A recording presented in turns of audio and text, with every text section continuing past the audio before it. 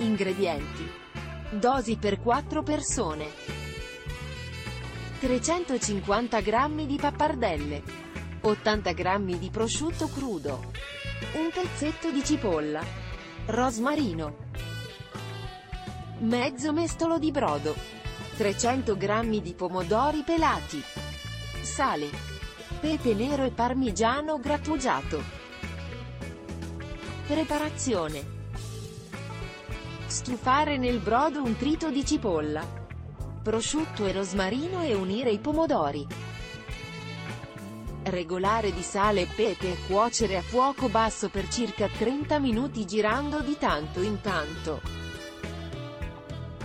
Cuocere le pappardelle in acqua salata. Scolarle e condirle con il sugo preparato e con il parmigiano a piacere. Il piatto è pronto. Buon appetito!